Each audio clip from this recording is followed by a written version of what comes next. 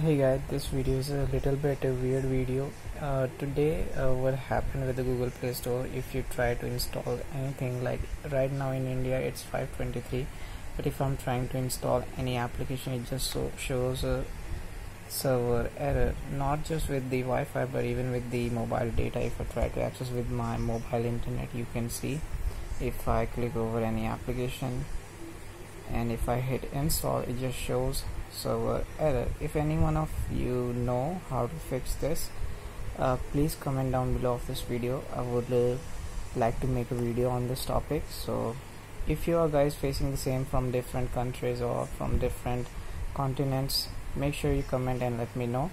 And if you guys have any solution for this error uh, please let me know in the comment section below so I can fix the fix this or I can make video about this